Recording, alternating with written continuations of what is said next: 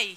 You're now going to view a demo of the inneractive Windows Phone 7 Ad SDK integration. Let's start. All I have to do is simply sign up and download the SDK.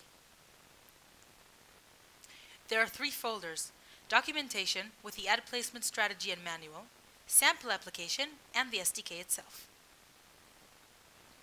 Now we're going to open the sample application.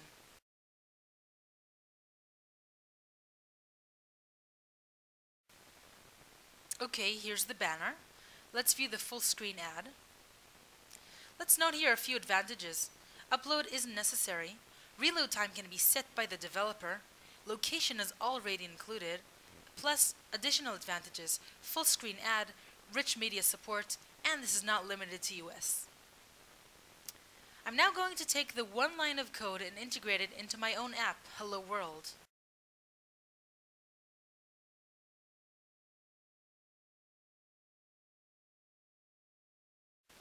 I'll use a test app ID, request a banner, located in the content panel.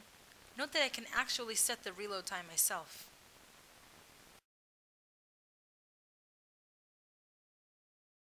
Launching the app. Success! And this only took me about 10 seconds.